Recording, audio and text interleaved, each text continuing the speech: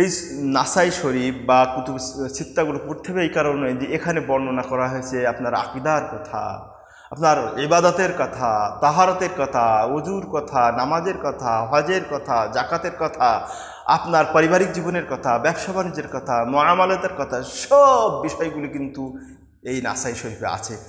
আরও বর্তমান যদি বিভিন্ন পরিবেশের দিকে বিভিন্ন সোসাইটিতে লক্ষ্য করেন, তাহলে তো পড়ার জোরদার দাবি আরও জোরালো হবে। এই কারণে যে আপনি যখন কোনো সহি হাদিস অনুযায়ী আমল করতে চান যান সমাজে, তখন কিন্তু আপনাকে ধরে বসে। বিভিন্ন আলেমুলা বা বিভিন্ন শ্রেণির লোক আপনাকে ধরে বসে যে এটা কোথায় পেলে? এটা কোথায় পেয়েছ? বাপদাদাদের রেওয়াজ, বাপদাদাদের প্রচলিত নিয়ম ছেড়ে এটা কি নতুন কি শুরু করেছ? নতুন কি ফিতনা শুরু করেছ? আসলে এই মুহূর্তে আপনি কি বলে উত্তর দিবেন? এই জন্য আপনি যে সহি আমলগুলো করছেন, বিশুদ্ধ চিন্তা চেতনার লালন পালন করেন, তার পক্ষে দলিল জানতে হবে দলিল ছাড়া তাকেও জবাব দিতে পারবেন না, সন্তুষ্টি করতে পারবেন না এবং আমাদের যে সমস্ত আলেম সমাজ আপনার দিকে আঙুল তুলে কথা বলে, তাদের মুখ যদি চুপ করাতে চান, তাহলে আপনাকে অবশ্যই এই শুনানে নাচাই পড়তে হবে। কারণ আপনার নামাজের ব্যাপারে, অজুর ব্যাপারে মহিলাদের যে হায়েজ নেফাসের ব্যাপারে পুরো ব্যাপারে আপনার সামনে একটা দলিল আমরা ইনশাল্লাহ দিব। প্রত্যেকটি বিষয়ে কিছু কিছু দলিল যাতে করে সহি দলিল আপনাদের হাতে উঠিয়ে দিতে পারি, তুলে দিতে পারি, সেগুলো ব্যবস্থা আমরা করব এই কোর্সে। কারণ আপনাকে যখন বলে, যখন সহি হাদিস মানতে চান, তখন আপনাকে বলে ফিতনা ফিতনা সৃষ্টি করেছে, নতুন নতুন কাজের উদ্ভাবন করেছে। তো আমি ওই সমস্ত আলেমোলাদের ওলামাদের জন্য একটি কথা বলতে চাই, সবিনয়ভাবে বলতে চাই। আপনারা যখন কোনো ভাইয়ের, কোনো মুসলমান যখন যখন দেখেন, মুসলমানকে যখন দেখেন যে সহি হাদিস অনুযায়ী আমল করছে, যেটা আপনি করতে পারেন না, আপনার সৌভাগ্য হয়নি, তখন আপনারা বলেন ফিতনা করে। আসলে ফিতনা করা, বলা এটা কি ঠিক। কোরআন, হাদিস মানা কি ফিতনা? সুপ্রিয় ভাইরা, কোরআন হাদিস মানা কোনোদিন ফিতনা না। কোরআন হাদিস এসেছে, শান্তির জন্য এসেছে, ফিতনা মুক্ত করার জন্য এসেছে। আর আপনারা বলছেন ফিতনা। আপনার মতের সাথে মিল হচ্ছে না, আপনার মাধাবের সঙ্গে মিল হচ্ছে না, তাই বলে ফিতনা বলে দিবেন। যদি তাই বলেন, তাহলে আপনার কাছে আমার প্রশ্ন। আপনার, আমাদের সফল সকলের ইমাম ইমাম আবু হানিফা রাহিমাহুল্লাহ, মতের বিরুদ্ধে তো তার দুইজন প্রসিদ্ধ ছাত্র অনেক মত পাওয়া যায়। ইমাম আবু মোহাম্মদ, ইমাম ইউসুফ। তারা কিন্তু ইমাম আবু হানিফার অনেক মাসলার খেলাপ করেছে। হৃদায় শত শত মাসলার খেলাপ আপনারা দেখতে পাবেন। তাহলে কি বলবেন যে তারা ফিতনা করেছে?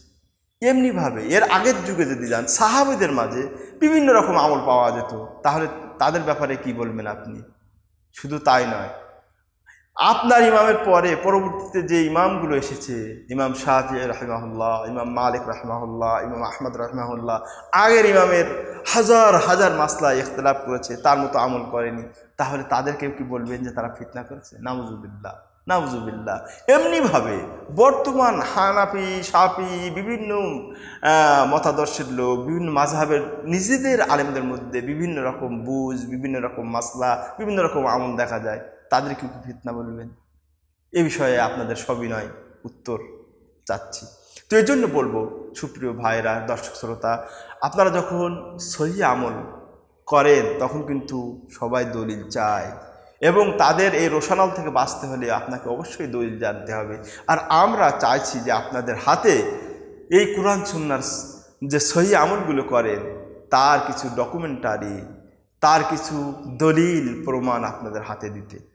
সুপ্রিয় দর্শক শ্রোতা ও শিক্ষার্থী বন্ধুরা, তো এই জন্য আমরা একটি উদ্যোগ নিয়েছি যে আসলে এলেম অর্জন করা সবার জন্য ফরজ, কিন্তু আপনারা যারা অনেকেই পারেন নাই, মাদ্রাসায় পড়তে পারেন নাই, বিভিন্ন পেশার সঙ্গে জড়িয়ে গিয়েছেন, এখন আপনারা চাচ্ছেন যে কোরআন ছন্না জানতে, কোরআন ছন্না শিখতে, আপনাদের জন্য আমরা একটি অপরচুনিটি সুযোগ নিয়ে এসেছি যে কুতুব ছিত্তাগুলো পড়ুন, বিষয়গুলো জানুন এবং এই জানাটা, এই এলেম অর্জন করাটা, এটা কিন্তু শুধু এক শ্রেণি অর্থাৎ আলেমের জন্য খাস না।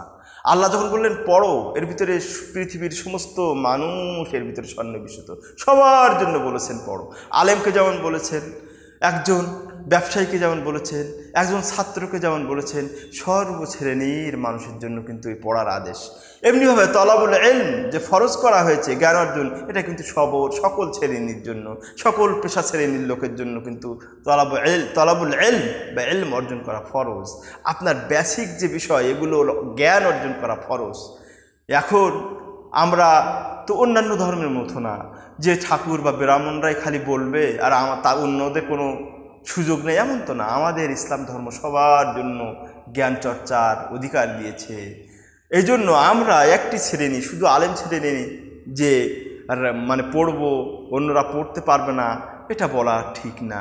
আবার অনেকেই বলেন যে বাংলা বুখারি পড়ে, বাংলা হাদিস পড়ে, বাংলা হাদিসের তরজামা পড়ে, নষ্ট হয়ে যাচ্ছে, ভ্রান্ত হয়ে যাচ্ছে, ইত্যাদি ইত্যাদি। এটা আর একটি স্থূল অভিযোগ বা অনুযোগ যেটা একেবারে ঠিক না। ভাই আপনার কাছে আমার আবার সবিনয় প্রশ্ন।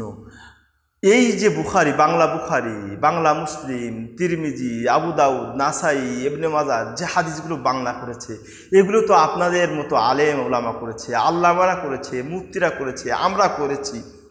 তাহলে আপনি মনে করেন যে আপনি এই বাংলাটা করেছেন লোকের পথ ভ্রষ্টতার জন্য?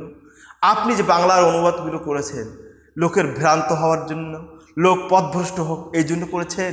না, লোক সঠিক পথ পাক, সুপথ পাক, জান্নাতের রাস্তা পাক, এই জন্য করেছেন।